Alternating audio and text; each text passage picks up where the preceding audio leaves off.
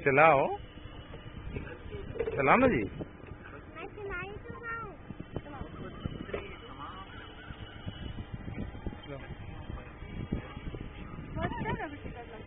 हाँ पाँच बरस से ऊपर।